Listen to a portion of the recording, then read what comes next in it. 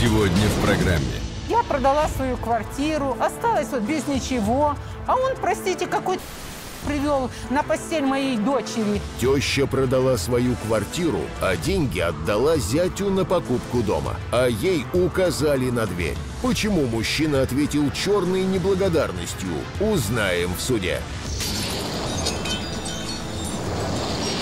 40 лет мы с тобой живем вместе. Какие могут быть любовницы в нашем возрасте, милая моя? Бьется ребро, как говорится. Мужчина узнал о гибели дочери, скрыл этот факт от своей жены и один вступил в наследство. Почему он решил поступить именно так? И на что потратил деньги, полученные с продажи унаследованной им квартиры? Вы понимаете, товарищ судья, я настоящий великолепный рогоносец. Нет, я так не хочу, только развод. Мужчина разводится с женой, поскольку она изменила ему с коллегой и цинично сама рассказала об этом. Но что послужило причиной этой измены? И почему девушка считает, что супруг сам виноват в случившемся?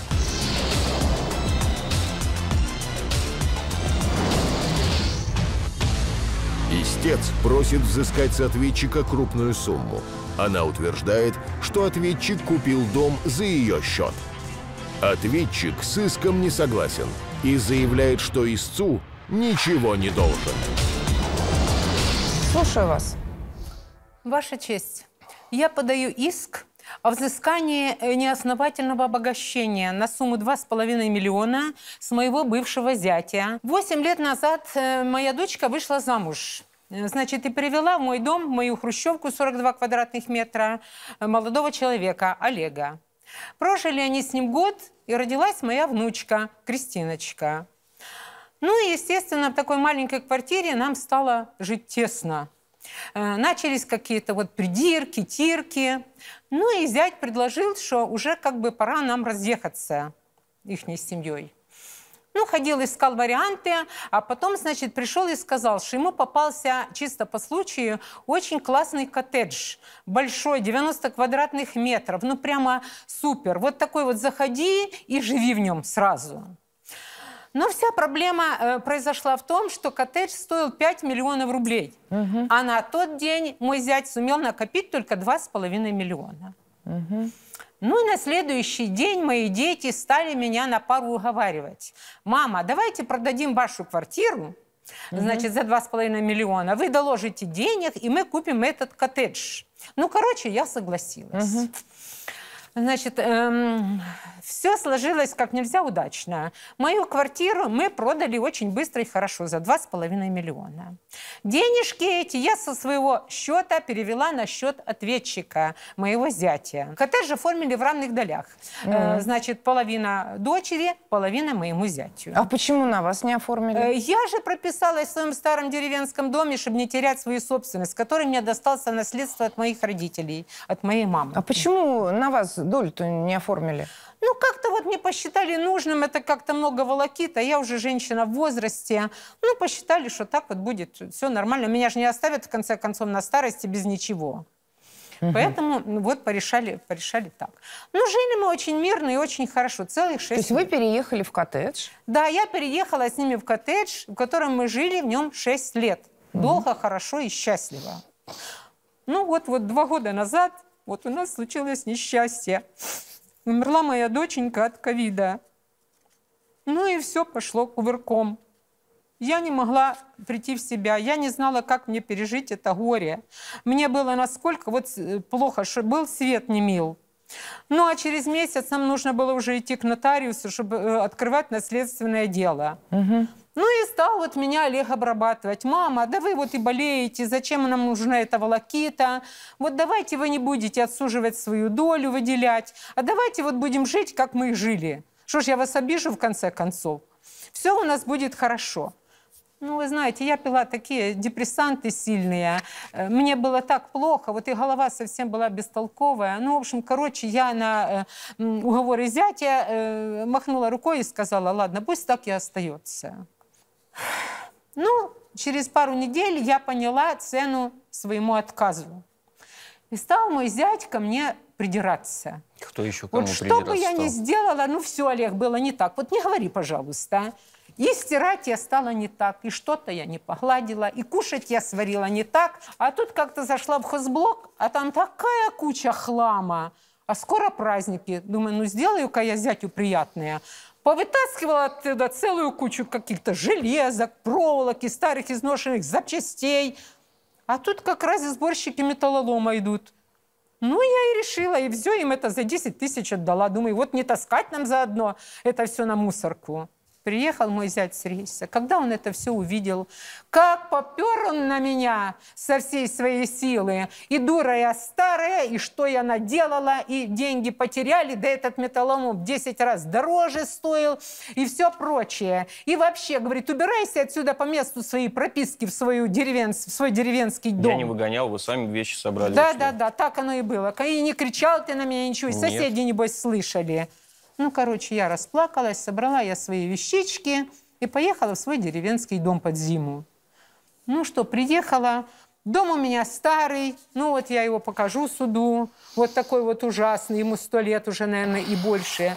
Не, печное отопление, туалет только где-то далеко во дворе, снег нужно во дворе весь чистить. А мне 74 года, у меня полная медкарта болячек всевозможных. Ну, в общем, короче, пожила я, пожила, и поняла, что я еще одну зиму в этом доме жить не выдержу. Ну, пришла мне мысль в голову, думаю, ну, пойду-ка я покаюсь перед своим зятем. Думаю, буду жить, ну, сидеть и молчать, а куда денешься, раз дура старая действительно осталась вот без ничего. Буду жить как мышка, тихонечко. Ну, приехала туда, а соседи говорят, ха, бабка опоздала. Да твой зять уже давным-давно бабенку привел, она а теперь хозяйка в этом доме. И что, я продала свою квартиру, осталась вот без ничего, а он, простите, какой-то привел на постель моей дочери, и я теперь не нужна там, что ли? Вот поэтому осталась я при бубновых интересах. Значит, пошла к юристу. Он мне предложил. Говорит, давайте подадим в суд о э, неосновательном обогащении вашего зятя. И он вам вернет ваши 2,5 миллиона. А вы на эти деньги купите себе какое-то достойное жилье, чтобы достойно уже жить на старости. Ну вот, я и, и пришла к вам. Помогите мне, пожалуйста, восстановить справедливость и не оставаться без крыши над головой в моем возрасте. Передайте документы через судебного пристава.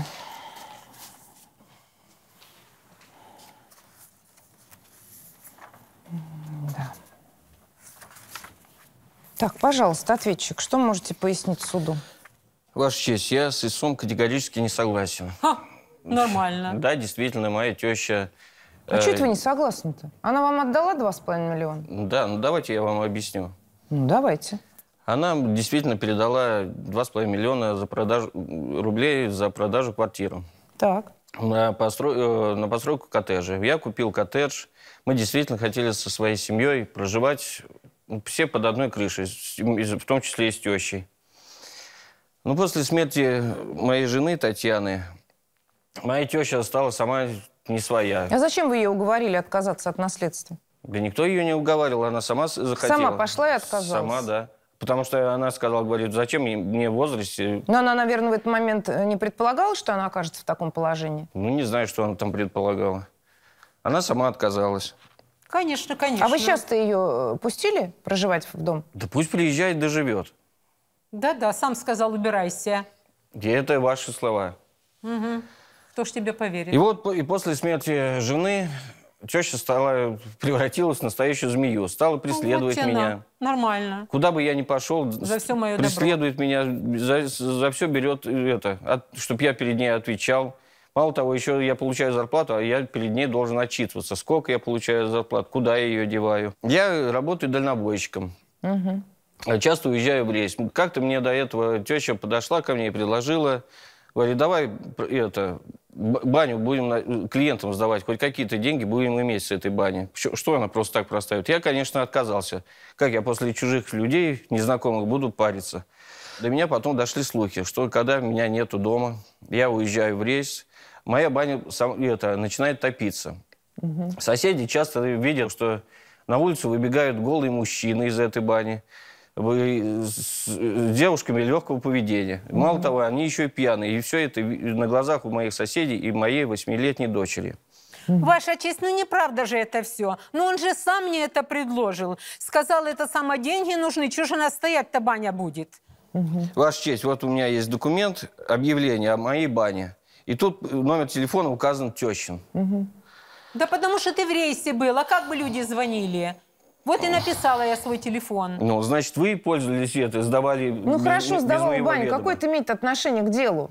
У нас иск о взыскании неосновательного обогащения. Продала квартиру, деньги отдала вам. А имущество было зарегистрировано на ваше имя. Для вас это что? Ну, смотрите, когда она передала деньги, 2,5 миллиона, но она это, вложили и в этот коттедж.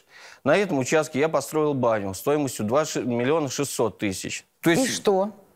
Она, как я уже говорил, что я, когда уходил в рейс, она пользовалась этой баней и сдавала, без моего ведома, сдавала клиентам. И вот она, как, как она с меня требует 2,5 миллиона за то, Сразу что была. это, она на коттедж давала, если она сама сожгла баню. Вот у меня есть заключение пожарной... В результате баня сгорела? Баня, баня сгорела. У меня... э, Вы полагаете, что вот сейчас это имеет отношение к этому иску? Да, конечно. Ну, это вы Потому- так потому считаете. что- А где у вас встречное исковое заявление? Э, Кто виновен в поджоге? Или... Тут судебная экспертиза показала, что меня, меня не было дома, а ну, не теща пользовалась- наверное, а пожарное. Пожарные, пожарные это, поставили заключение, что не- неправильно пользование пе- печью. Кто неправильно? Кто виновный? тё- Теща. А при чем здесь э, этот иск? Вы хотите в зачет, что ли? Ну, это вот я просто показываю, что у меня документы есть заключение пожарников. Ущерб. Ущерб нанесен мне в 2 миллиона 600. Ущерб вам нанесен, взыскивайте э, в, в законном порядке. И не в этом суде, потому что это не связанные между собой требования. Вообще не связанные между собой требования. Потому что э, история со сгоревшей баней никакого отношения к рассматриваемому делу не имеется. А факт неосновательного обогащения налицо. Я вам заранее это говорю. Что э, тут очевидно все. Продала квартиру, отдала деньги вам, вы э, приобрели коттедж на эти денежные средства. В число собственников истицу не включили. Она осталась, как говорится, ни с чем. Кроме того, она отказалась в вашу пользу и в пользу вашей дочери от наследства. Думайте. Вы понимаете, на что я вам намекаю? Да. Ну, я вас слушаю. Может быть, у вас какое-то предложение есть? К примеру. Я не могу, конечно, заранее вам говорить, какое я решение вынесу, но вы, наверное, сами догадываетесь. Ну, Может быть, мировое соглашение мы с ним заключим. Может, он напомнится Ну, договаривайтесь о мировом Тебе вот соглашении. судья даже так говорит. Я согласен прийти к мировому соглашению. На каких условиях? На одну, на одну четвертую долю. То есть вы согласны э, передать, одну- одну- собственность э, да, передать одну истице четвер- одну четвертую Одну четвертую. доли дома. Как вам такое предложение, истицы? Ну, я, конечно, согласна, хоть, конечно, это и маловато, потому что я не знаю, что я на эти деньги смогу себе купить. Но а с баней дело- что? Потом будете требовать э, 2 Нет, миллиона с Ничего нее? не буду требовать. Точно? Да. Но дело в том, что если я останусь вот все-таки, э, не потеряю Ну, родственные баня-то связи... из-за вас сгорела. К бане не относится к делу, это так. Раз не уж мы знаю, здесь... не знаю, я настаиваю. Олег сам это мне предлагал, это самое, а потом все свернул на меня. Обидно, конечно. То есть вы просите заключить мировое соглашение на условиях э, о признании права собственности на одну четвертую долю Да. в доме за истицей. Вы согласны? Я согласна, только из-за Передайте того, хоть, конечно, обидел меня сильно Олег, но э, э, потому что я останусь с родственными связями, с внучкой, единственное, Ну что да, сможете проживать дома. в этом ну, доме. и как-то вот улучшу свои э, э, жилищные условия, там воду проведу, туалет сделаю на Я своем вам участке. помогу провести воду, туалет утеплю. Сам лично сделаю. Ой, занесите это в протокол, пожалуйста, а то я уже боюсь. Занесите это в мировое соглашение, а я его буду утверждать. Суд удаляется для вынесения определения. Прошу всех встать.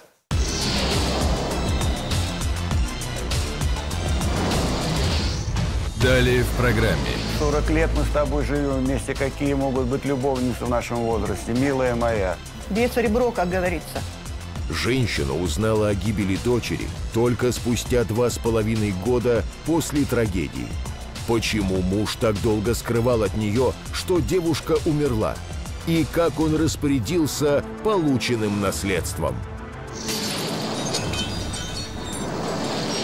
Вы понимаете, товарищ судья, я настоящий великолепный рогоносец. Нет, я так не хочу, только развод. Молодожены решили, что попробуют сводные отношения. Целый год мужчина рассказывал жене про свои секс-похождения, а когда она переспала с коллегой, сразу подал на развод. Суд вынес определение об утверждении мирового соглаш- соглашения и прекращении производства по делу. Суд утверждает мировое соглашение, по которому одна четвертая доля в доме переходит в собственность э, истицы. То есть все, на этом э, история с неосновательным обогащением с долями в доме для вас закончена. Понятно это? Да. Да, Ваша честь. Все, дело закрыто. Прошу всех встать. Решение суда. Мировое соглашение. Мы как-то после этого наладим с ним отношения, я буду общаться с внучкой. Ну и, наконец-то, я улучшу свои жилищные условия в своем доме. Столько лет прожили с тещей. Ну, я думаю, что и дальше будет все хорошо, все замечательно. Вот таких надо наказывать, потому что они женщинам жизнь портят. Здесь надо сдерживать слезы, Держим себя в руках. Пытаюсь.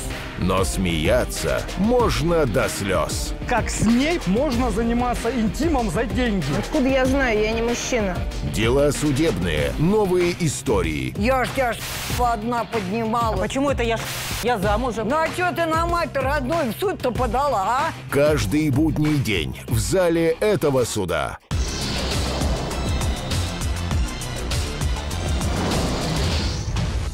Истец требует восстановления срока для принятия наследства, поскольку она была введена в заблуждение мужем. Ответчик утверждает, что потратил все наследство погибшей дочери на благотворительность. Я вас слушаю, пожалуйста. Ваша честь, я ходатайствую о восстановлении срока следствия для принятия наследства моей покойной дочери Галины, Смольной Галины Сергеевны. Дело в том, что я узнала о смерти дочери всего три недели назад. Меня жестоко и подло обманули. И это сделал мой муж, с которым я душа в душу прожила 40 лет. Дело в том, что дочь работала в Африке а, волонтером. И м, через год после того, как она уехала туда, она погибла. Муж мне ничего не сказал. Дело в том, что она была такая самостоятельная, самонадеянная.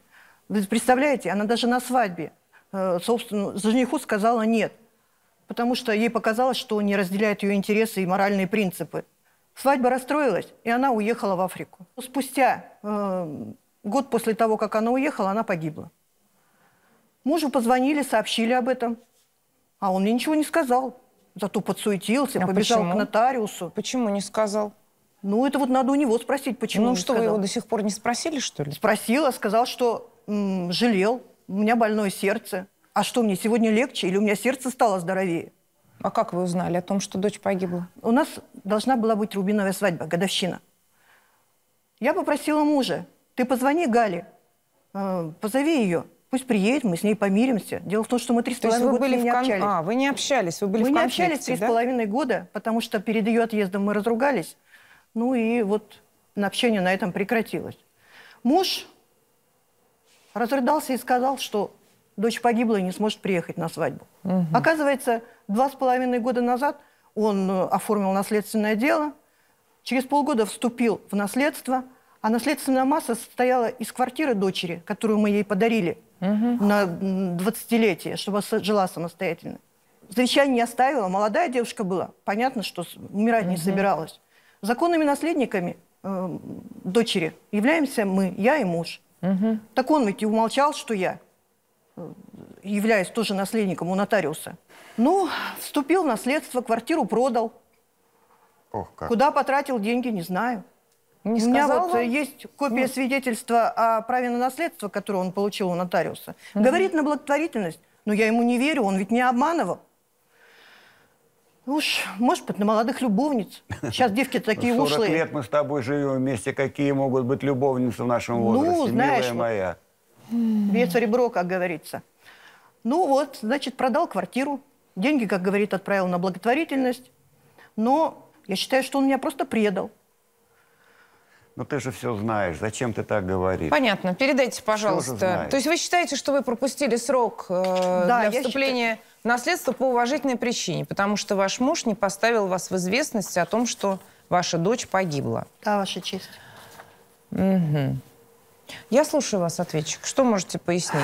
Ваша честь, с иском жены я не согласен.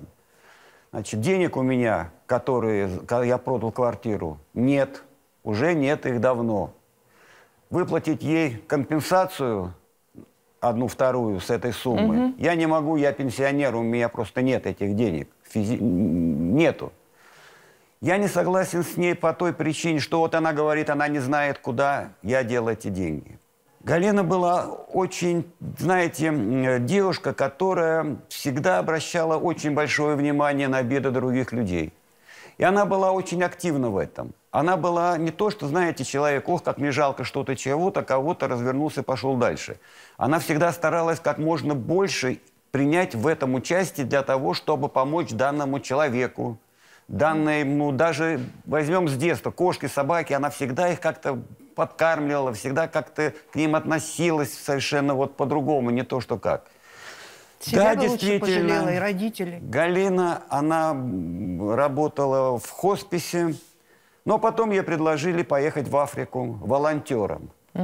Но на этой почве, как вот жена сказала, и расстроилась свадьба с, э, с женихом, потому что жених хотел, чтобы она была только дома, чтобы она занималась только хозяйством. чтобы Босая она- беременная на кухне. да, да, да, да, да. Вот. А ее э, Галечку не устраивала такая жизнь. Она привыкла к активной э, жизни и э, делать так, как она считала нужным. Ну вот из-за этого расстроилась свадьба, и через небольшое количество времени она уехала в Африку.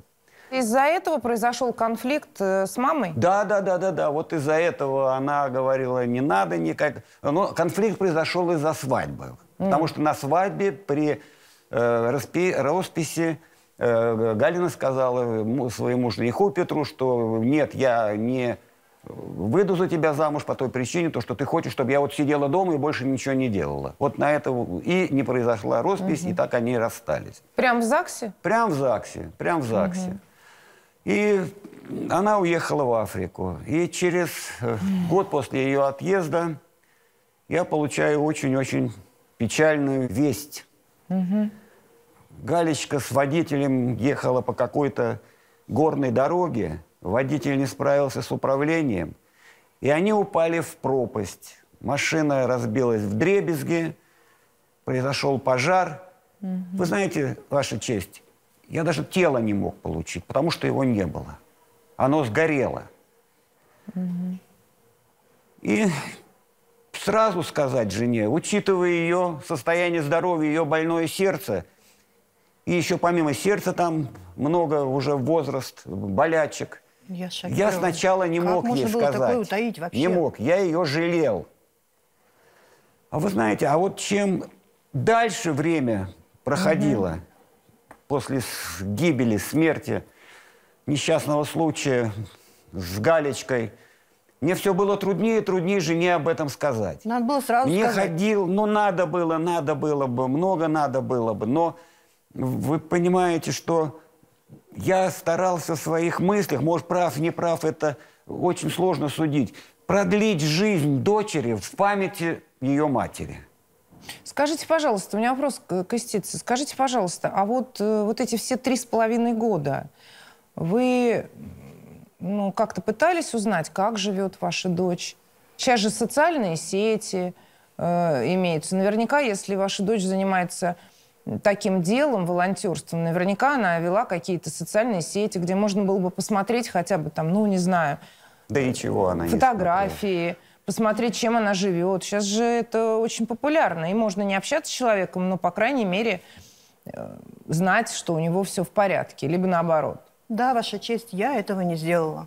Даже не могу То есть три с половиной года из-за вашей этой обиды Да, из-за вы моей не обиды. интересовались, как живет ваша дочь? Ну, как-то вот Да ну нет. скажи откровенно, Ну, что вы не скажите, как есть. интересовалась, Я, как есть. я Ну, тут задаю вам вопрос не просто так. Нет, Ваша честь. И со мной она ничего не говорила по поводу дочери. А после смерти То есть не было дочери- такого, чтобы вас жена спрашивала, ну, Не например, было спустя такого. полгода, ты что-нибудь знаешь, как там Галь-то? Не было такого, чтобы она вообще... То есть ей- вы вообще не обсуждали? Не обсуждали. Вы понимаете, когда Галя э, не стала, я очень боялся этого вопроса. Вы поймите, если бы она задала мне какой-то вопрос, то мне очень трудно было бы это скрыть. То есть правильно я вас понимаю, что вот этот вопрос по поводу того, давай ее все-таки позовем, пусть приедет, это был первый раз, когда Да, Ваша а, вас жена спросила Правильно. о дочери? Да, да, да. Спустя три с половиной года. Да, да, да, спустя это время. И вот уже на тот раз. момент дочери не было в живых, Ну, уже, получается, да, два уже с два, половиной два с года. половиной года, да. Понятно. Передайте документы Что-то через вот, судебного значит, пристава. Ваша честь, я хочу вам передать Расскажи- документы. объясните мне еще раз про поводу денег. То есть вы вступили в права наследования. Да, я не э, сказал Получили жене. в наследство квартиру и... Все. У нее не было никаких больших... Ну, там какая-то такая мелочевка, может быть, там 2-3 тысячи... Ну, вы ру- квартиру-то продали? Да, квартиру я продал за И- и 4 дальше миллиона 800 тысяч. Так. И? И? эти деньги я отдал, перевел в благотворительный фонд. Там э, есть э, Да, я документ, то, что... А, а, почему пере- вы так поступили? Потому что квартира была не моя, не жены. Квартира была нашей дочери. А что, Гали. дочь так хотела? Она когда-нибудь с вами Вы это знаете, обсуждала? да, да, я считаю, что если Ну, анализировать предыдущую, предыдущую жизнь Гали, если анализировать все деньги, которые она могла в фонд, все деньги, которые она зарабатывала, она оставляла себе на прожитие минимум, остальное все отдавала. И я считаю, что эту квартиру, которую я ей, в принципе, купил на мои деньги, Галя бы была не против и была бы за, за то, чтобы передать эти стоимости, ну, продать квартиру и передать эти деньги в На э, в благотворительность. фонд. на благотворительность в фонд. Это как раз тот фонд, где она работала? Да, так? да. И я именно передал эти деньги в тот фонд, где Галя работала. Почему? Потому что это очень-очень прозрачный фонд. Это не какие-нибудь там леваки, какие-нибудь там э, непонятные люди. У меня, вы обратите внимание, там на каждый рубль фонд Да, делал вижу. отчет. И проанализировать это, вся эта сумма ушла на благотворительность, на хоспис, на помощь людям. Я себе лично ни копейки не оставил. Они заказывали самолет для мальчика, там 12 лет в очень тяжелом состоянии, чтобы его перевести в свой город. Ну, он в, в очень плохом состоянии, в безнадежном состоянии. Она оплатила самолет, она оплатила из этого фонд, фонд, вернее, оплатил за счет этих денег э, на оборудование, на обед работников. И мальчика отвезли к себе домой, в, в его Понятно. город. И он там Я вообще считаю, То есть вы это сделали на в память о дочери? только в память о дочери, в память о дочери, потому что я, в принципе, уверен в том, то, чтобы она хотела это сделать. Я поняла вас. Суд удаляется для вынесения решения. Прошу всех встать.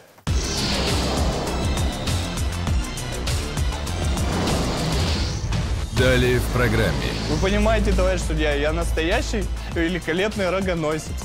Нет, я так не хочу, только развод. Мужчина разводится с женой, поскольку она изменила ему с коллегой и цинично сама рассказала об этом. Но что послужило причиной этой измены? И почему девушка считает, что супруг сам виноват в случившемся?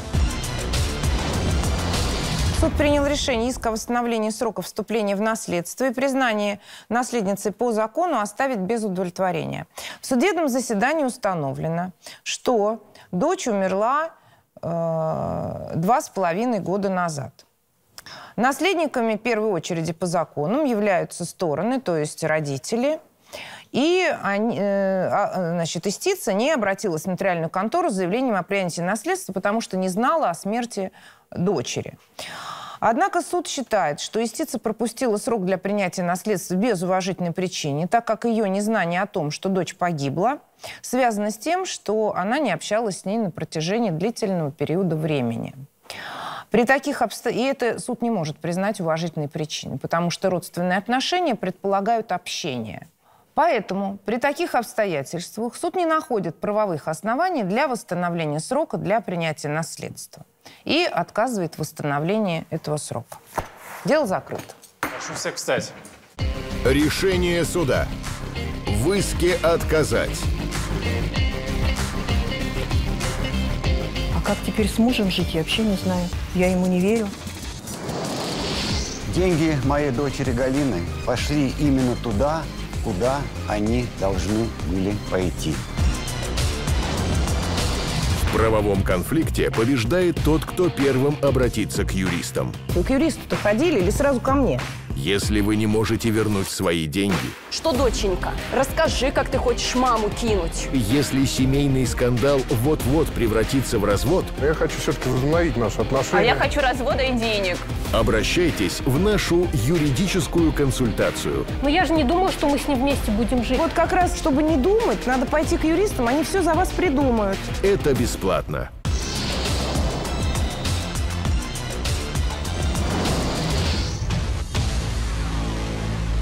Истец требует расторжения брака, обвиняет жену в измене. Ответчик иск не признает, утверждает, что изменила только потому, что этого хотел ее муж. Прошу всех встать.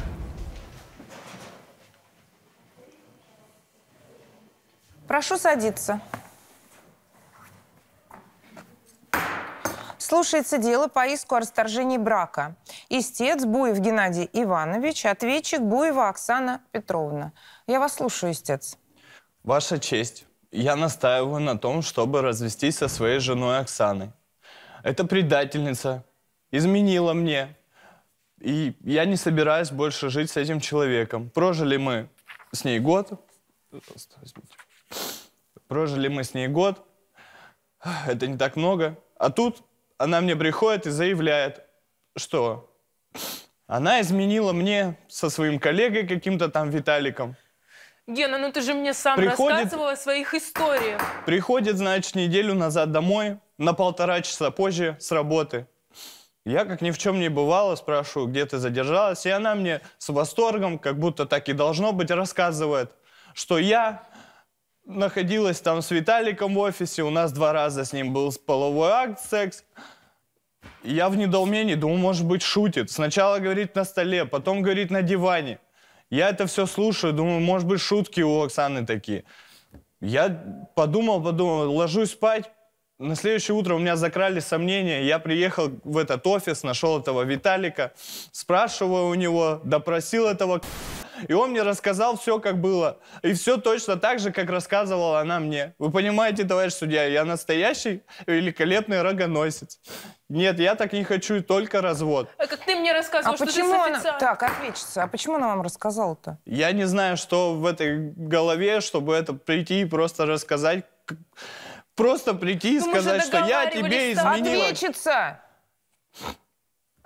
Я, значит, настаиваю, чтобы этого человека больше не видеть в своей жизни. Делить нам с ней нечего, детей у нас нет. Жили мы в добрачной квартире, и поэтому только развод. Ничего другого. Передайте, пожалуйста, свидетельство о браке.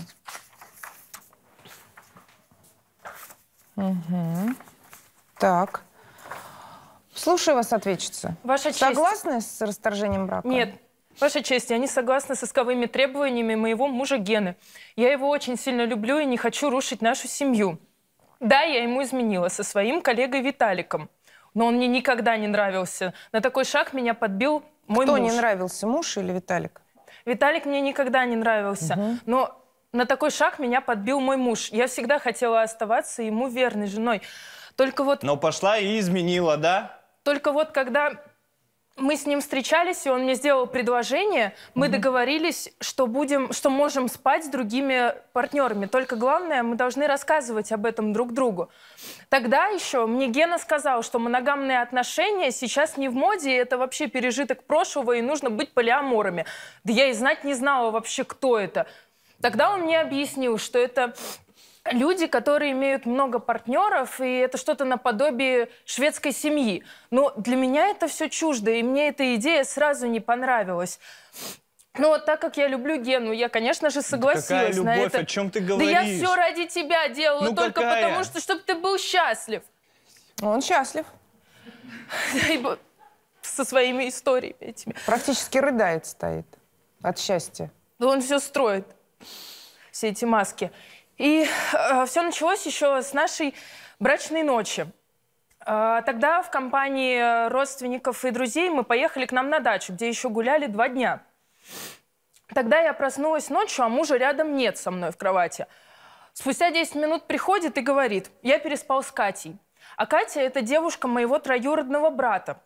Ну, она, знаете, такая. Она тогда напилась, каждому мужику лезла. Да не спал я с ней, не было ничего Ты мне рассказывал в деталях, как вы там в мастерской Ничего не было. развлекались. Ну, я сдержала тогда слезы, все ради мужа.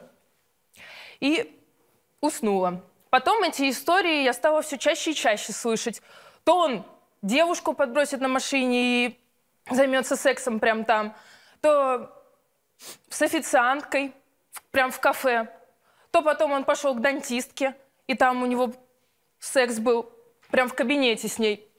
А вы представляете, как это все больно, что это невозможно терпеть?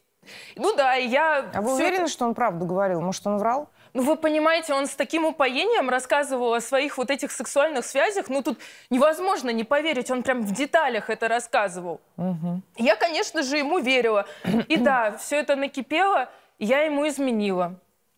Но я бы никогда не стала изменять, если бы не он. он а зачем надо было изменять? Пришли бы и просто рассказали. Ну, я не могла, ну я что, дура, что ли? Ну, это разве справедливо? Ну, То есть смотря с какой стороны посмотреть. То есть он мне может изменять, рассказывать все эти истории, а я что, не могу? Тем более Виталик ко мне давно подкатывал. Но при этом он мне никогда особо не нравился. Он вообще противный. От него воняет.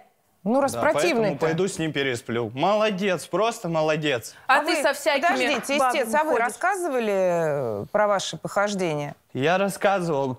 Ну как можно было вообще в это поверить? Ну о чем ты говоришь? То есть вы действительно рассказывали, что вы вот там были и вот это делали, потом вот там. Ваша честь, Делали. да, я рассказывал. А зачем?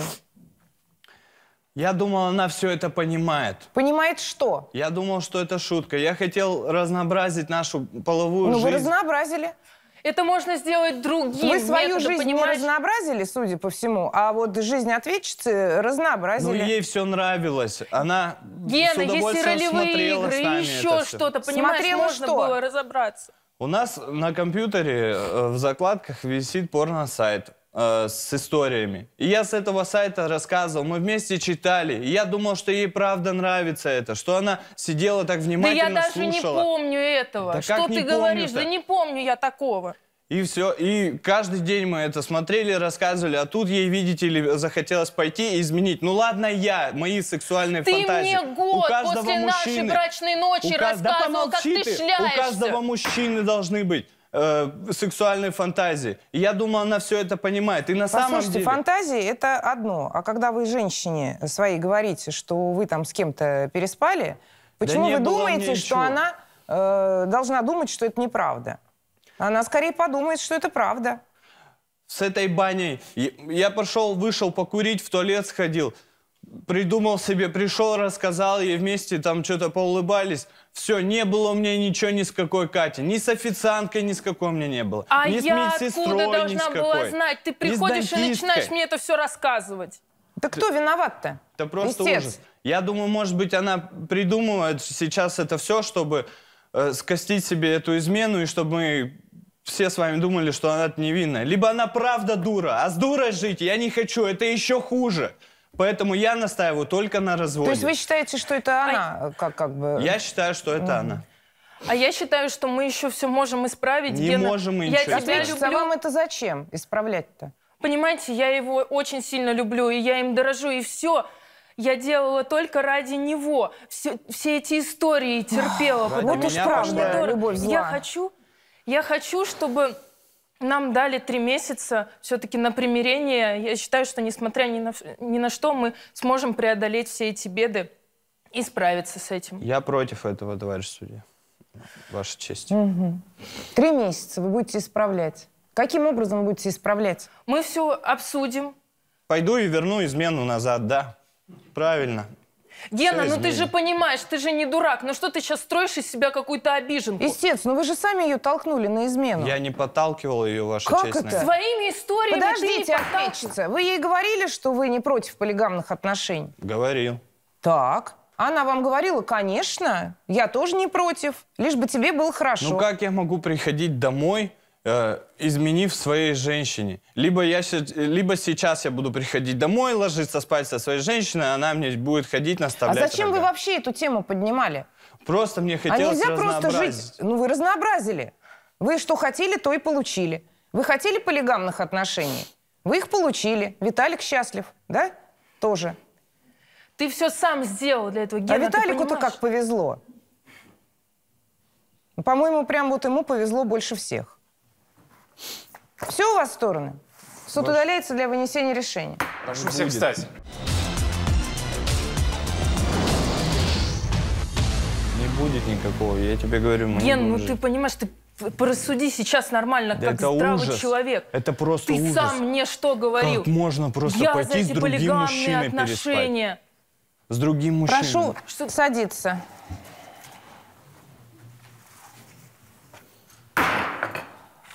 Суд вынес определение об отложении слушания дела, предоставляет супругам срок для примирения на три месяца, так как ответчица заявила ходатайство э, о предоставлении срока на примирение. Если вы не помиритесь через три месяца и вам не удастся сохранить семью, тогда, истец, вернетесь в суд, и брак будет расторгнут.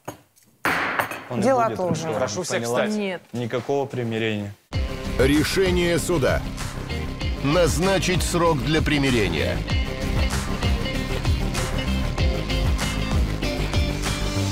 Ну и что ей дали эти три месяца?